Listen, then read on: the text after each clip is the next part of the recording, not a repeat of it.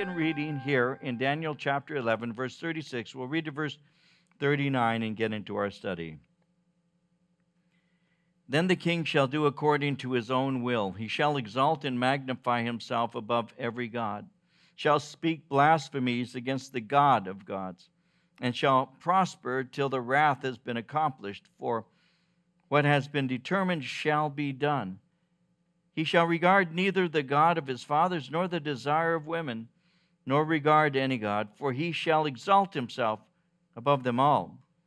But in their place he shall honor a God of fortresses, and a God which his fathers did not know, he shall honor with gold and silver, with precious stones and pleasant things.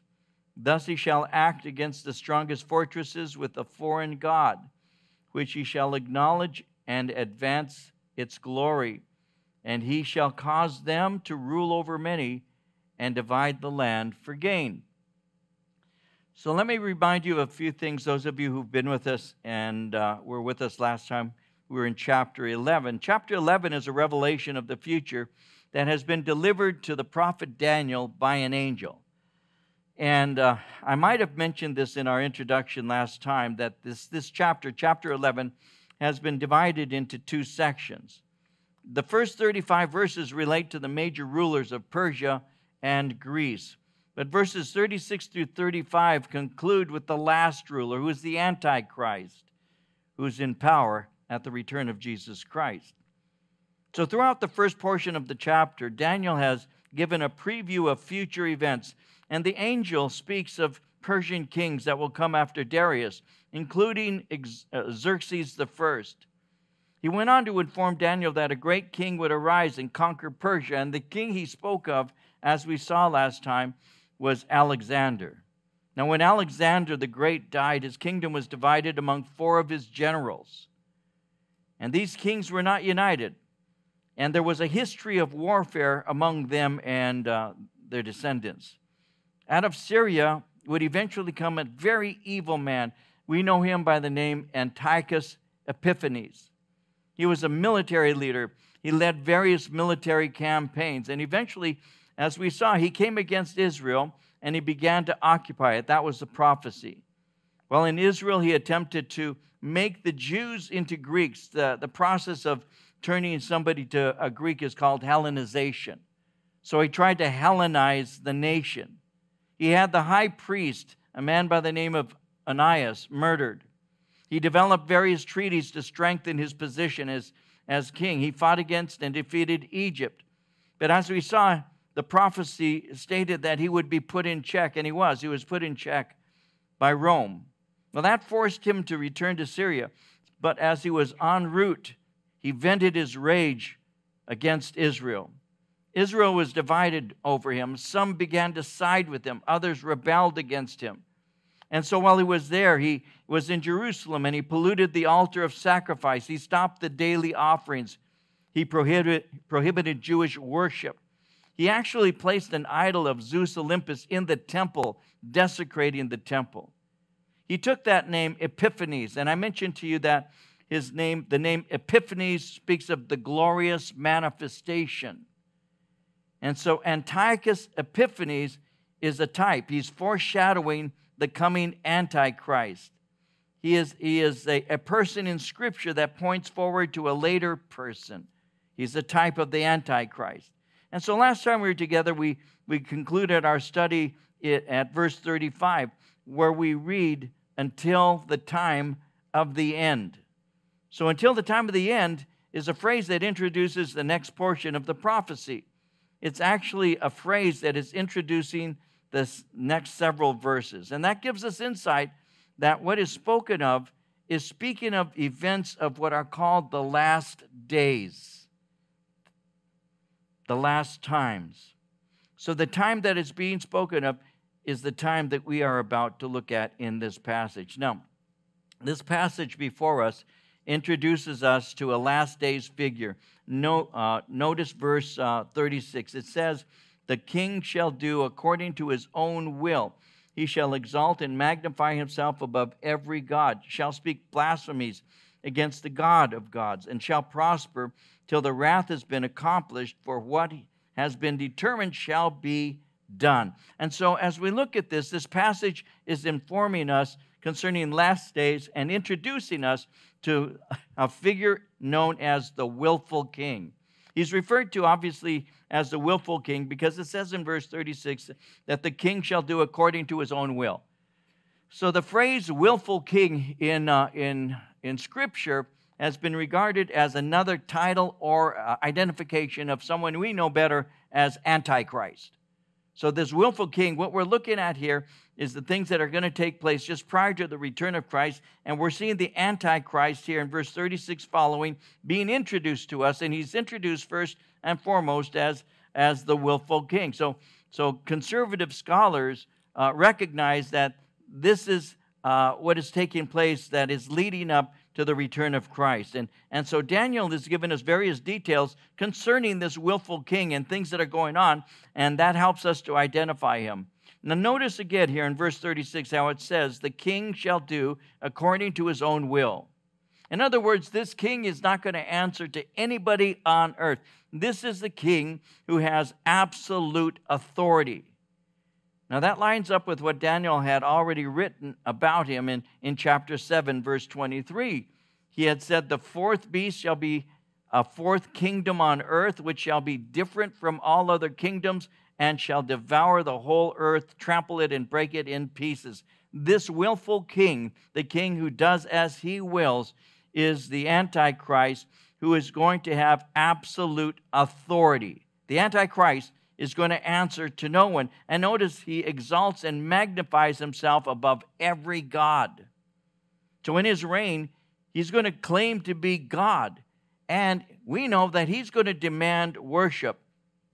In Second Thessalonians chapter 2, verse 4 in the New Testament, speaking of this Antichrist, it says that he opposes and exalts himself above all that is called God or that is worshiped so that he sits as God in the temple of God, showing himself that he is God. So, this is speaking obviously as the last days. It has to for a variety of reasons. One of them is the fact that it speaks of him being in the temple, showing himself to be God. That hasn't happened yet. What you had with the um, Antiochus Epiphanes is you had him uh, put a, a, statue there, but no, it, the Antichrist is going to present himself in the temple as God. He's going to present himself in that fashion. Now, that temple doesn't exist right now, does it? And so we know that part of what's going to take place is there's going to be a covenant that is going to give the Jewish people the uh, permission to once again occupy the temple. I've already mentioned this to you. And so that's why we know that, that when this is speaking concerning uh, the last days in Second Thessalonians, that the temple had to be rebuilt because it had been destroyed in AD 70 under uh, the Roman general Titus. And so there will be a rebuilding of this temple. And so when that temple is rebuilt, the Antichrist is going to establish a covenant. He's going to do so with the nation of Israel. That covenant undoubtedly is going to include the rebuilding of the temple. There's going to be a way for the temple to be built on that holy site um, by making a, a, an agreement, more than likely with, uh, with the Muslims who occupy that area, so that the uh, Dome of the Rock can continue to exist as they rebuild and restructure this temple. That temple will be rebuilt. Every time you look at these things that relate to the last days and all, you have to see that the things that we're looking at right now have not yet taken place. This is something that's prophetic. It will take place in the latter times. And he will, he will, he will allow the people to come. He will allow them to have worship, the Jewish people. They will be completely um, uh, deceived by him. And ultimately, what he'll do is he'll exalt himself above all that is called God, that is worshiped, so that he sits as God in the temple of God, showing himself that he is God. You see, what happens is the world is going to begin to worship him. The world will worship the Antichrist. Revelation 13, verse 8 All who dwell on the earth will worship him, whose names have not been written in the book of life of the Lamb slain from the foundation of the world. He will present himself as God, and the world will wonder after him. Notice how it speaks concerning him. Again, he'll do according to his own will. He shall exalt and magnify himself above every God. shall speak blasphemies against the God of gods and shall prosper till the wrath has been accomplished, for what has been determined shall be done. And so, as he does this, he begins to speak blasphemies against God. Again, we saw that in chapter 7, at verse 25. He shall speak pompous words against the Most High, shall persecute the saints of the Most High, shall intend to change times and law. Then the saints shall be given into his hand for a time and times and half a time, three and a half years. Notice in verse 36, he shall prosper until the wrath has been accomplished. The wrath that's being referred to, he's going to prosper until the tribulation concludes. In Revelation chapter 6, verse 16, it says that they called to the mountains and the rocks, Fall on us and hide us from the face of him who sits on the throne and from the wrath of the Lamb. The wrath of the Lamb is another way of describing the tribulation. And so, he will prosper until the wrath has been accomplished. He's going to prosper during the tribulation until it concludes with the second coming of Christ. That tells us that his rule is limited because it says it lasts until the wrath has been accomplished. Now, if people don't worship him, they will be executed. And that solidifies his rule the worship of this Antichrist is going to be accomplished through the work of the one who is referred to as the false prophet. Again, Revelation gives us insight. In Revelation 13, verse 15, it says, He was granted power to give breath to the image of the beast, that the image of the beast should both speak and cause as many as would not worship the image of the beast to be killed. So he has a false prophet, like Jesus, the true Messiah, had John the Baptist. Antichrist is going to have a false prophet who's going to be causing people to be deceived and worship this one who's proclaiming himself to be God. Notice in verse 37 how it says, He shall regard neither the God of his fathers nor the desire of women, nor regard any God. He shall exalt himself above them all. Now, many commentators, and I want you to see this, believe that this is speaking about what would be referred to as an apostate Jew, a Jew who doesn't have uh, a true faith in, in the Jewish in the Jewish system of religion, an apostate, one who has voluntarily turned away from it. And uh, that's because of the phrase there in verse 37 that he shall regard neither the God of his father and so the God of his father is a common phrase that is spoken of of Jewish people in reference to the God of Israel, because it is literally speaking concerning this. And, and some have said that he is going to simply disregard any gods, including the God of Israel. In, in other words, in his blasphemy, he's magnifying himself over any and all gods worshiped on earth. He's going to say that uh, there may be gods out there that some have given themselves to, but I am the God of all those gods. I am the God over all of those gods. And so, what he's going to do is he's going to magnify himself above all that is called God. Uh, he yields to the temptation that caused Satan to fall. He desires to steal the glory of God and desires worship. Let me give you some things here. Ezekiel chapter 28, verses 14 and 15. God was speaking to, to, uh, to Lucifer, he was speaking to, to Satan. And in Ezekiel 28, 14 and 15, it says, You were anointed as a guardian cherub, for so I ordained you. You were on the holy mount of God. You walked among the fiery stones. He went on to say, You were blameless in your ways from the day you were created till wickedness was found in you. In verse 17 of the same chapter, he said, Your heart became proud on account of your beauty. You corrupted your wisdom because of your splendor, so I threw you to the earth. This is the fall of Satan. Satan was a covering cherub. A covering cherub meant that he was, he was created to protect the glory of God for some reason, it's a mystery to me, he chose to actually rebel against being that one who leads the heavenly choir in praise of God and began to desire that, that praise to for himself. Because if I gave you the full reading of Ezekiel 28, it speaks concerning their tim- his timbrels and, and this and that. And, and the commentators have been um, united in stating that this one who's being referred to was a what is spoken of in musical terms. So he was what we would today refer to as the heavenly choir director. You know, and so this temptation to receive the praise that belongs to God alone was something that caused him to yield and to fall. He became proud, like he says, on account of his beauty. Your wisdom was corrupted because of your splendor. I threw you to the earth. Isaiah in chapter 14, in verses 12 through 15, speaking in the same way, says, How you are fallen from heaven, O Lucifer, son of the morning, how you are cut down to the ground, you who weaken the nations. For you said in your heart, I will ascend into heaven. I will exalt my throne above the stars of God. I will also sit on the mount of the congregation on the farthest sides of the north. I will ascend above the heights of the clouds. I will be like the Most High. Yet you shall be brought down to Sheol, to the lowest depths of the pit. You have five I wills. I will do these things. I will ascend. I will be like the Most High. And that was the sin of Satan. Satan desired to be equal with God. He wanted to be worshiped, and as a result, he was removed from his place of power and authority.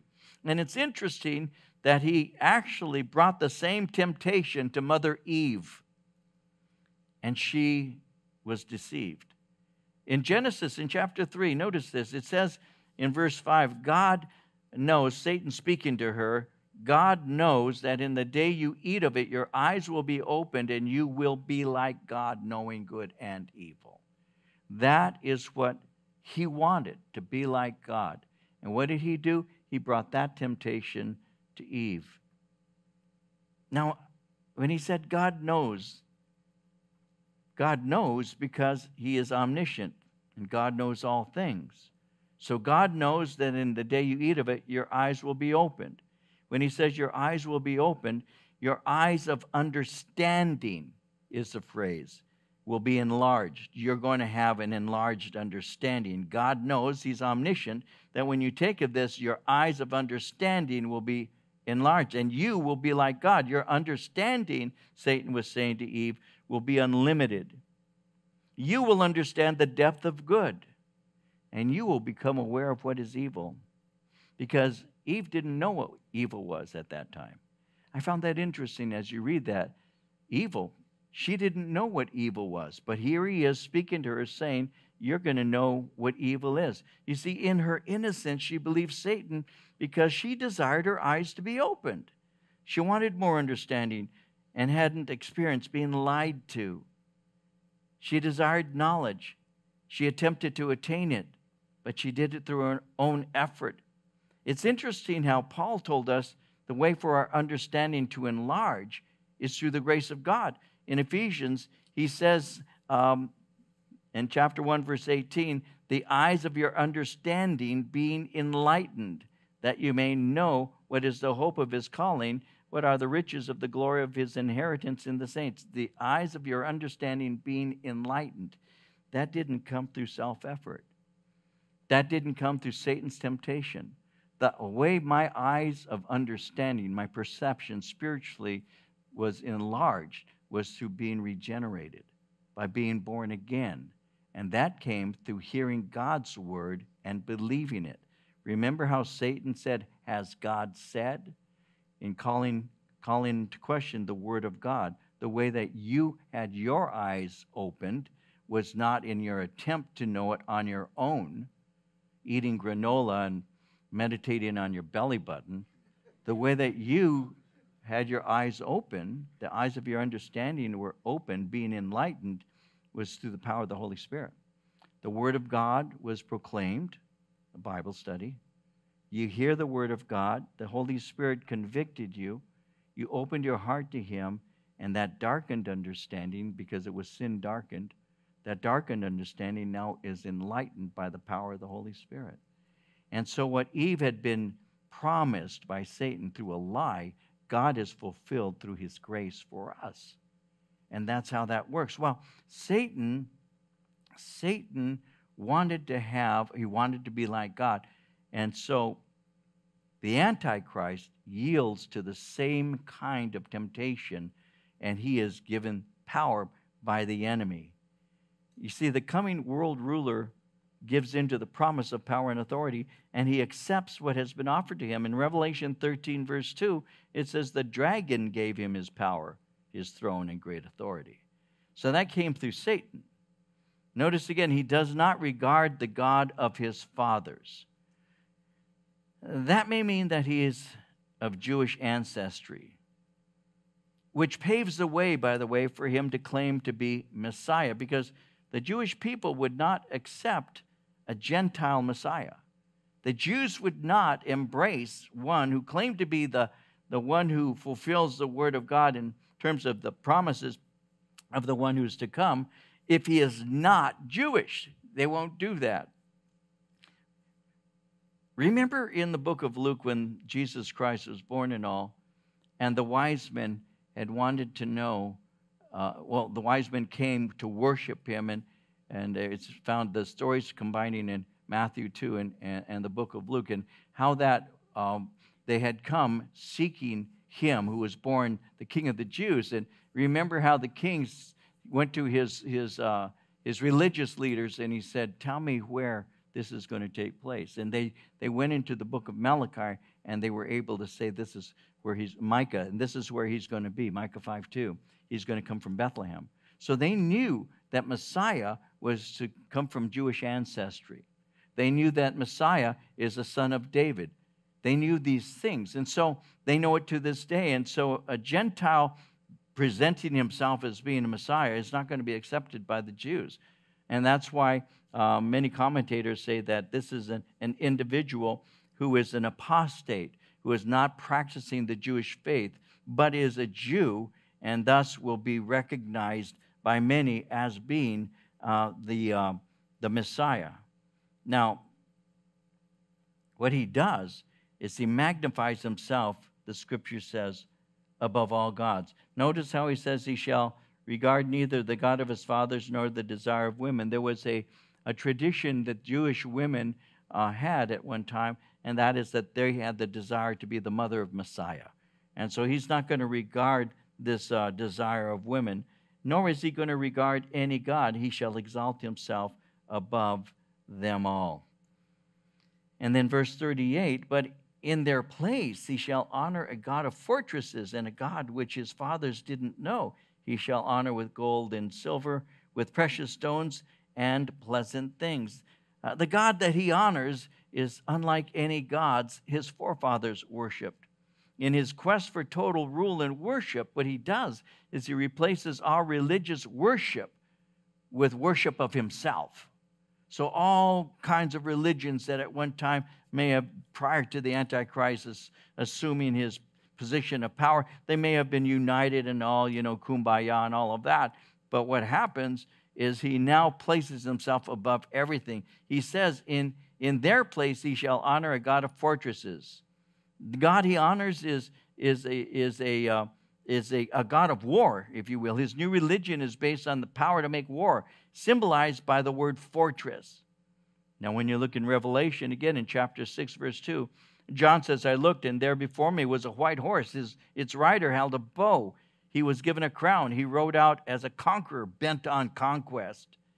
In Revelation 13, verse 4, people worshiped the dragon because he had given authority to the beast, and they also worshiped the beast and asked, Who's like the beast? Who can wage war against it? So he's not a prince of peace, he's the bringer of war. Notice verse 39 He shall act against the strongest fortresses with a foreign God, which he shall acknowledge and advance its glory. He shall cause them to rule over many and divide the land for gain. So prophesying relating to how he unites and conquers and brings people under his rule. His, his, his rule is characterized by warfare, and he rewards those who are siding with him. And what he does in order to, to draw people is, is his rule combines materialism and violence and false religion. And in a society that has become dull to violence, it's not hard to believe that it will follow a violent leader. Antichrist will combine pragmatic materialism, war, and false religion and will enslave the world. The culmination this will be the last half of the tribulation. This is the tribulation that he's speaking of, revealed in Revelation 6 through 18, chapter 6 through chapter 18. And his rule ends in a final war.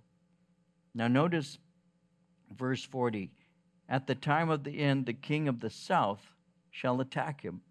The king of the north shall come against him like a whirlwind, with chariots, horsemen, many ships. He shall enter the countries, overwhelm them, and pass through. And so we went through the book of Revelation. Many of you went through that book with me. So remember that at the end of the tribulation, there's going to be a great military struggle. The Antichrist is, is going to be attacked through a combined strength of two kings. The kings are mentioned here the king of the south. The king of the south represents Egypt, it even speaks of the continent of Africa. The king of the north is Syria, the land's north, including Russia. By this time, the Antichrist has become the world ruler. Again, in Revelation 13 7, he was given power to wage war against God's holy people to conquer them. He had authority over every tribe, people, language, and nation. So, this combined attack is a rebellion against his rule. He's going to rule, he's going to coalesce people. The world will come under him for a while, but it isn't going to last. It's going to end with military combat. And so there's going to be a rebellion against his rule. And when they begin to unite to rebel, that'll be spelling the beginning of the end. And so it says that he's going to be, verse 41, he shall enter into the glorious land, and many countries shall be overthrown, but these shall escape from his hand Edom, Moab, the prominent people of Ammon, and Chino. So it's really interesting. there you go. So, what happens? Well, he moves into Israel. His armies are going to occupy the Middle East. Edom, when you look at a map, is south southeast of Israel. Moab is ancient Jordan. The land called Ammon is north of the land that we today refer to as Jordan. So, south southeast, Edom, Jordan, and that which is north of Jordan somehow are going to escape all of this. But he enters into the glorious land. The glorious land is another name for Israel. And so there's going to be battles, and this is the point that's being made here. So, when he says, verse 42, he shall stretch out his hand against the countries, and the land of Egypt shall not escape. He shall have power over the treasures of gold and silver, over all the precious things of Egypt. Also, the Libyans and Ethiopians shall follow at his heels. What happens is there's going to be a counterattack. Egypt is going to fall to the Antichrist. He begins to take tribute from them. They're going to be paying but this is, is, is going to actually foster great rebellion against him because it says in verse 44 news from the east and the north shall trouble him. Therefore, he shall go out and with great fury, with great fury, to destroy and annihilate many. He shall plant the tents of his palace between the seas, the glorious holy mountain which represents Jerusalem. Yet he shall come to his end, and no one will help him. So, what he did is he collapsed seven years of tribulation into just a few scriptures. So, I'll kind of just close it up by sharing a few things. Um, there's going to be a gigantic army from the east and the north that are going to attack him. Revelation 9, verses 13 through 16 says, The sixth angel sounded, and I heard a voice from the four horns of the golden altar which is before God, saying to the sixth angel who had the trumpet, Release the four angels who are bound at the great river Euphrates. So the four angels who had been prepared for the hour and day and month and year were released to kill a third of mankind. The number of that army and uh, of the horsemen, 200 million. I heard the number of them. In Revelation 16 12, the sixth angel poured out his bowl on the great river Euphrates. Its water was dried up so that the way of the kings from the east might be prepared. You know, I didn't share this in the book of Revelation because it's basic speculation, and, and I hesitate to do that. I like to give you what the scripture actually says rather than to speculate. But I can say this that number 200 million, I didn't mention it to you when we studied Revelation. What is the significant number? 200 million. We, it would be two thirds of the population of the United States. That's what you're talking about. It speaks concerning the kings of the East. Um, the kings of the East is a phrase that we actually know is the land of the uh, rising sun. That's what the kings of the East, it literally is translated the land of the rising sun. And so many commentators over the years have pointed out that uh, Japan you know, obviously is known as that's, a, that's their flag. But the number 200 million has caused many to, to begin to speculate what, what Asian country could possibly have an army of 200 million? And we all know that that, that army is China. We, we know that um, I, I, actually, you know, I, I didn't prepare all the details like I usually like to give you. I'm just speaking from memory, but I do have notes and sources that point to the fact that uh, early, or rather late in the uh, in the 20th century, it, it was reported that the uh, the Chinese army, you know, over 30, 40 years ago, already boasted the exact number. They had already stated we have a militia of 200 million um, uh, soldiers. So that number, 200 million, is significant because something is going to take place in the future It'll be during the tribulation where these the war the war is going to be incredible in ways that you and I that we have never even imagined or can't even imagine. The war is going to be that bad. When you have military personnel that number 200 million people, 200 million soldiers, it's very, very difficult for us to understand what that actually means. So, this is just a snapshot that Daniel is being given by the angel prophetically concerning what's going to take place. There's going to be a seven year tribulation, there's going to be a rise of an antichrist. He is going to have a false prophet. The false prophet is going to be used to cause people to worship the beast. The beast is going to unify. There'll be a a, confederation of nations that will become his military. He's going to rule the world for some time. But in the middle of that 70th week or the third and a half year of the tribulation, because for three and a half years there will be peace, he's going to break the covenant with Israel. He's going to proclaim himself to be God in the temple, and he's going to demand worship. The false prophet will be causing people to worship, and those who don't worship him are going to be killed for their failure to worship him. Over time, what will happen is those who he has been oppressing will begin to join militarily.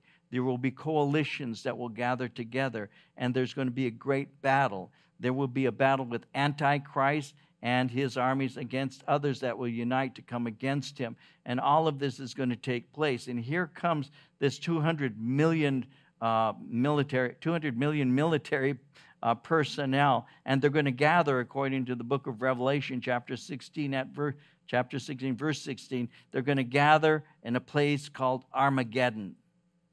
And so, against uh, the invaders, the Antichrist is going to launch a counterattack. What he'll do is he's going to establish his headquarters in the city of Jerusalem and they're going to be in a battle. It's going to be actually not simply because a lot of times we've used the term the Battle of Armageddon. It's really a series of, of battles.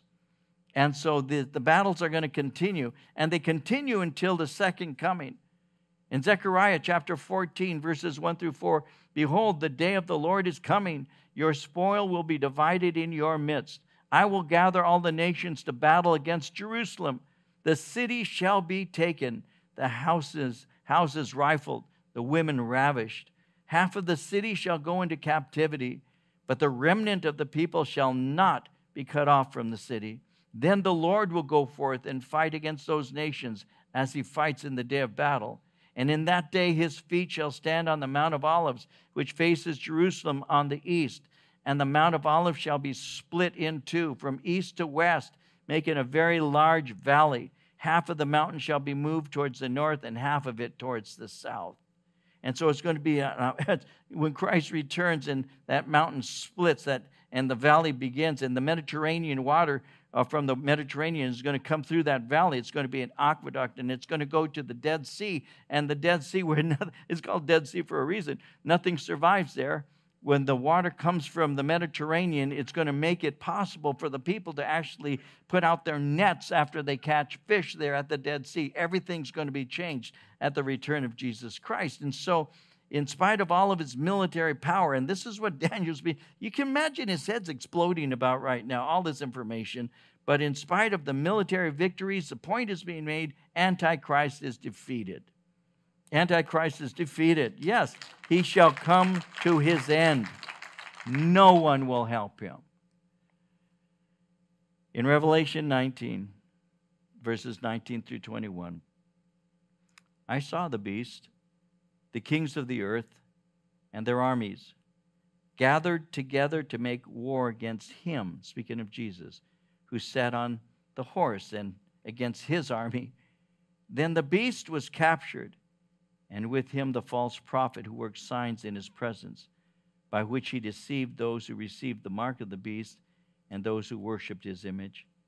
These two were cast alive into the lake of fire burning with brimstone. The rest were killed with the sword which proceeded from the mouth of him who sat on the horse, and all the birds were filled with their flesh. There have been times, and I'll, I'll close with a couple of thoughts. Um, when I was a brand new Christian, that I would think, because I was being taught things related to the return of Christ and the hope from a very, very, very early Christian age. From the beginning, we were taught the rapture is going to happen at any time. Be ready at any time. We were taught that. So anytime there was an earthquake, I'd say, He's coming. Anything that seemed to fit in with Matthew 24, 1 through 8 I, w- I would, he's coming, he's coming. And so we're to occupy until he does. And so that means that as we wait, because the next prophecy that is to be fulfilled, there's nothing that needs to be fulfilled prior to this one, is the rapture of the church. And so the church is to be awake and aware. And we're to be proclaiming the gospel, living for Christ, and simply aware of the things that are taking place around us. So when we see what's going on, when we see even now this great nation that we live in, when we see what was what is going on, instead of living in fear, what we do is we we we, we live in faith because the, the promises of God are sure. And when he said there shall be pestilences and wars and rumors of war, what did we expect? What, what do we expect? But, you know, when the Son of Man comes, he says, Shall he find faith on the earth? Because what's happening, I believe, right now is simply like, like birth pangs. We're, we're seeing taking place right now is Americans who, who are living in fear. Many. Now, sometimes, you know, I, I am not, I'll say it this way. It is, it is, I am not one who believes that you should, you should, you know, run in front of a car and uh, see whether or not God will deliver you from being run over by that car. Um, testing God. Don't do that. That's a pretty dumb thing to do. You know, don't do that. I don't test the Lord any more than, than, than when Satan told Jesus to jump. Uh, no, you're not to tempt the Lord your God. No, you don't put yourself in a position just to see whether he's going to rescue you or not. You don't do that. But what you do, though, is you live with wisdom and aware of the days that you're living in. And it really, really seems to me that the world is actually being prepared to welcome this evil world ruler. We really, in my entire lifetime, I, I, I have known that the time would come when, when it's even more obvious, and that time is now. People are so afraid. And this, this pestilence, this disease, this virus that many people are afraid of, understandably, that it's, it's, a, it's a bad thing. I had it. Jared is recovered, and thank God for that. Many of you have. But we're also being, we're also being manipulated. And forgive me if this sounds, but it's true. We're being manipulated into fear. You know, when, when you have people saying, I've been watching the news and all of this, and I'll just say a couple things and move on. Um, when we're being told that our children, 5 to 18, have to be vaccinated, when the, the mor- mortality rate is like I heard today, it was like 0.002, 0.002 mortality rate. And the children who have succumbed, and, and, and our heart always will break with, with a child that, that has died. I don't say this lightly, but as I was listening today, they were pointing out that the, the children have uh, had, uh, had, had uh, preconditions. There, there are things in the overwhelming um, morbidity, it's been because of the children had other things they were dealing with. So the average child between 5 and 18 who comes into contact with this particular virus, uh, it, it, they said it's, it's, it's less, uh, less than a flu for them. Whether that's true or not, there's so much confusion, confusion today, so many things that people are saying that it's hard to believe, but fact is, is when I see people driving in their cars by themselves with two masks on, that tells me something, doesn't it? Does it tell you something? When you see someone walking down the street by themselves with a mask on, when you see people who are putting trash bags over their head and cutting out the eyes,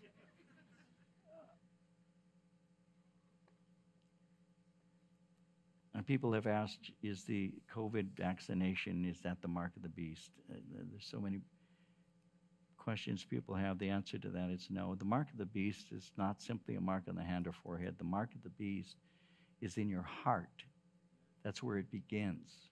And it's manifested by the acceptance of the mark to buy and sell. But it's already in your heart. So if a Christian gets a vaccination, are they now going to get beheaded? Or are they going to, you know, no, no, why, why would they be? It, I still, it's interesting, I'm getting myself into a hole, but, um, you know, it's interesting how f- from, from like 1970 or so, I have been hearing the phrase, it's my body. I can do with it as I will. The government cannot tell me what to do with my body. We've all heard that. That's a common thing that you hear today. Except now, when you say, This is my body, if I don't believe that I need a vaccination, somehow it's changed. How'd that happen? So I have to be real with you when I say, I'm concerned for our nation. I'm concerned for how easily, easily people are willing to yield to things that are obviously unconstitutional, certainly stealing our rights, certainly doing that. And no, I'm not one who's going to get a placard and yell at people and that's not my thing. I just am not going to be told what to do by some guy who doesn't know God. I'm going to seek the Lord in His Word and His Spirit and do what He says. That's what we do. That's what Christians do. And if a believer gets a, a, a, an inoculation, uh, why would I make a judgment on that brother or that sister? Why would I do that? That's something between you and your God and your conscience. Why would I do that? But would I would I stand in line saying you must do this because the government said that? Um, no, I wouldn't do that either. Why? Because I believe in the ability for us to make choices. And why am I saying all of that? Because the Antichrist is going to have a system that is going to force people to do certain things so he controls them. That's how it's going to work. And so, whether it's whether it's marks on the hand, whether it's, um, you know, forcing, whatever it may be. And so that's one of the reasons why when I first got saved, and I'll get back to that thought that I was going to close with, that's why I, I was blessed uh, to know that, that I shall escape this wrath and that that, that God is going to say, Come up here. And then one day everything's going to be gone. I, will be seeing him face to face. And then at the end, the scripture speaks concerning how that the enemy, Satan, is, is cast into the lake of fire. And, and, and in my heart, I, I learned very early to rejoice over that.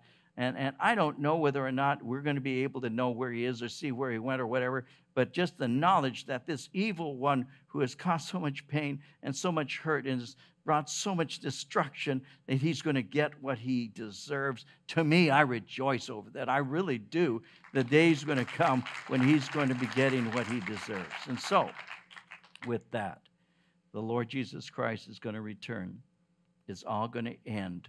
Daniel is pointing to these things. You, you combine these things with the book of Revelation and you get a more clear picture of it. We'll have to stop here because it's time for us to.